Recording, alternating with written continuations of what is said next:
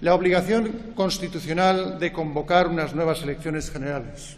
Ante la falta de acuerdo para la investidura de un presidente del Gobierno en la pasada legislatura y la eventualidad de una nueva convocatoria electoral, generaron ciertamente inquietud y malestar en nuestra sociedad. Igualmente, la regeneración moral de la vida pública es una cuestión de principios, de voluntad, porque España no puede negarse a sí misma tal y como es, no puede renunciar a su propio ser y no puede, en fin, renunciar al patrimonio común construido por todos. Señorías, ustedes, señoras y señores diputados y senadores, son la voz de nuestro pueblo. La tarea no es fácil, nadie lo duda, pero en sus manos está.